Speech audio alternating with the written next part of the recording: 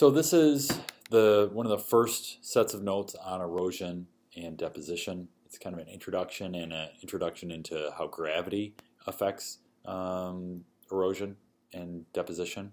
So the the main point here is that erosion is the transport transporting of weathered material. So we talked about weathering already. We talked about it before the break. And weathering is when rock is broken into smaller pieces. And again, that the surface area is critical for that. The more surface area you have, the faster something weathers. And weathering is just breaking it down into either smaller pieces or changing it chemically so that it's broken down. Um, and it's, it's, it's a different material uh, than it was before.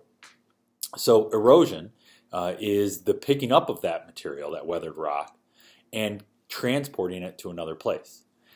The things that do that are streams. So running water, we've talked about, we've seen that in a lab with a whole lot of shaking lab, um, how streams can pick up and carry material. Glaciers, big blocks of ice that um, are the size sometimes of whole continents. And this whole landscape where we live has been shaped by glaciers, so we'll talk about that. Waves, uh, how waves can, can change and pick up material. Wind, wind we can imagine picking up uh, sand grains or dust and, and, carrying them from one place to another. And mass movement or, or gravity, and that's one of the things that we're going to talk about today.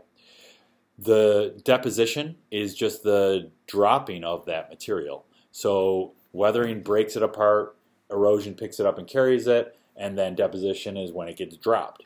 So you need to know that the distinction between those three words because when you see them in a question, you need to know what it's referring to.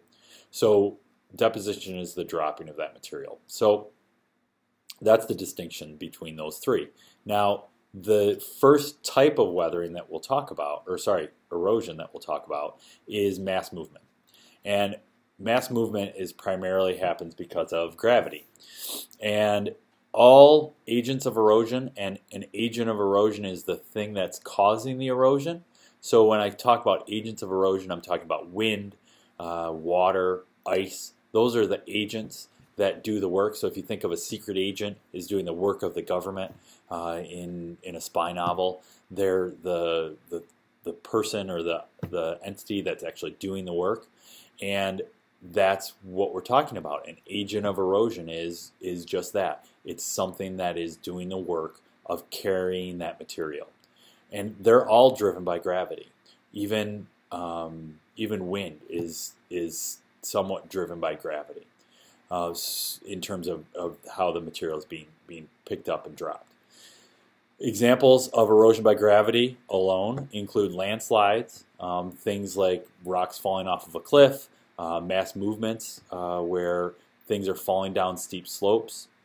Uh, without other erosional forces, so without things like water or wind, rocks that are you that are moved by gravity are will usually end up being jagged and rough. So if a rock breaks and falls down a cliff, it's going to have rough edges. It's not going to be smooth like it is when water rolls over it or if it's rolling in a stream. So that's one of the characteristics of rocks that are are deposited by gravity is that they're jagged and rough. The other thing is that they're unsorted, which means that all the rock sizes are all mixed together.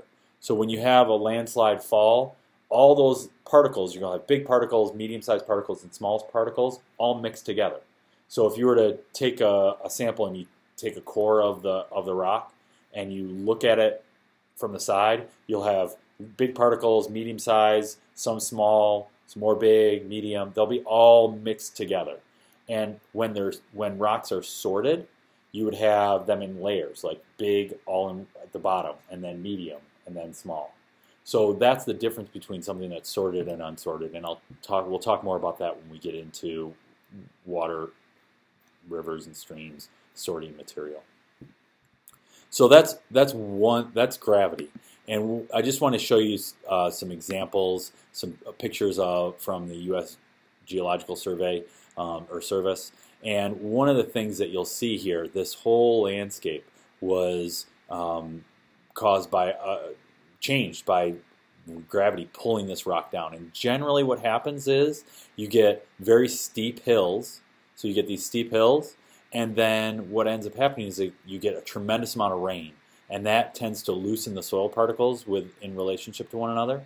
And oftentimes, the other thing that causes these landslides are when you uh, take away the vegetation, the roots that hold the soil particles together that's one of the key things that helps to hold the soil together are the roots. And if those roots aren't there and it gets really, really wet, gravity takes over and it pulls that stuff down and, and the earth will, sometimes it'll, um, what's called an earth flow where they actually, it actually flows almost like water. And the whole thing sort of slides down. The um, exam some of the examples of different types of mass movement. This is also called mass movement when rocks are moving by gravity. Uh, is that you can get these different types of landslides. Um, sometimes you just get rocks falling and really steep cliffs. Um, they will just topple right over where this breaks. Sometimes you'll get ice filling in here, expanding when it freezes, and it cracks it enough that, that it topples over. Um, you get a, an avalanche or an earth flow when it's really almost like a river of, of mud or earth flowing.